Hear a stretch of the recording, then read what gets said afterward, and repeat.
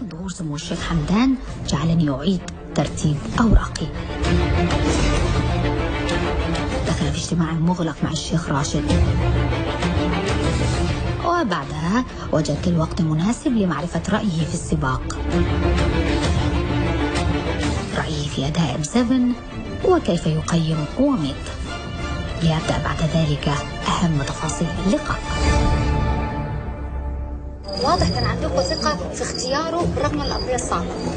يعني راح آه، أماكن خارج في العالم شارك في آه، في البلاد عندنا فنحن حطينا يعني ثري حطت الثقل على وميض المملكة نحن عرفنا إن أرضيتها صعبة. هذا اولا. ثانيا خيل جديدة ما بت... ما ب... ما بتأدي على الأرضية الصعبة. تحتاج خيل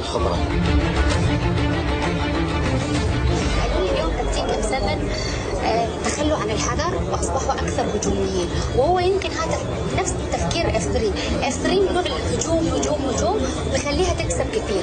اليوم لاحظت هالتغيير في M7 M7 آه، يعني بالنسبة لي أنا من يعني هو أفضل اسطبل فعنده القدرات إنه يتحكم آه، بالسباق. عندك أنت ذخيرة وعندك فرسان آه، جيدين تقدر تتحكم بالسباق تقدر تخف متى ما تبغى ف M7 هو العمود الفقري للسباق. الفوز فايزين already مشاركتنا مع إخواننا السعوديين هذا فوز لنا نحن أما كعروض بنقدم أفضل عروض إن شاء الله في لخط النهاية.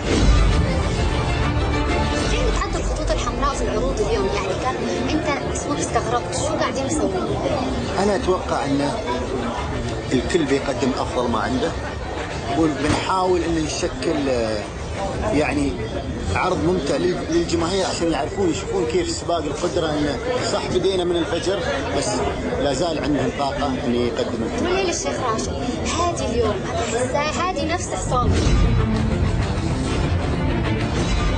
راشد راكب شيبة. الشاب من موضوع وميض اي إيه، حوالي نفس العمر. إيه، نفس العمر. نفس العمر. ولكن آه، هذا عند الخبرات. فيوم أتكلم عن الخبرة أتكلم عن آه، هذه الخيل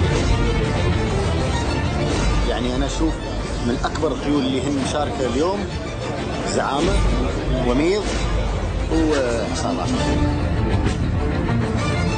حرام ما كنا مشاركين من زمان. يعني يوم شفت الأرض هذه حرام ما كنا نشارك من زمان. ولو نفسك شيء يتغير في التراك يكون؟ أنا أقول لهم لا يغيرون شيء لأن السنة الجاية أنا جاي وبركب ان شاء الله.